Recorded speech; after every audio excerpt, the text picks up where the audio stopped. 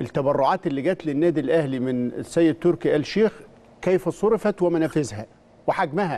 أنا كنت بتكلم أنا وأنت وإحنا جايين إنه الناس اللي هتفضل دايما تتكلم النادي الأهلي خد أنتوا مش عايزين تاخدوا بالكم إنه عدد كبير أو الحصة الأكبر ولعلها الأعظم من هذه التبرعات نظير مش احتراف لاعبين. وانتقالات لاعبين. أنت خدت لعيبة انتقلت للدوري السعودي معارين أو غيره.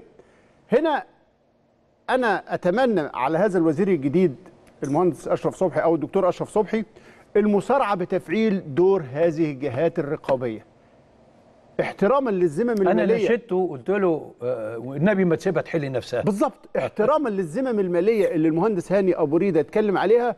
وإلى نقاء هذا المجلس اللي واقف يصطف يستقبله مجلس إدارة النادي الأهلي اللي عمال يستقبل كل الاتهامات والمعايرات الغريبة جدا من ناس على هذه التبرعات. لا يا سيدي خلينا نكون مش يعني نكون فاعلين شوية في حتة الدور الرقابي عند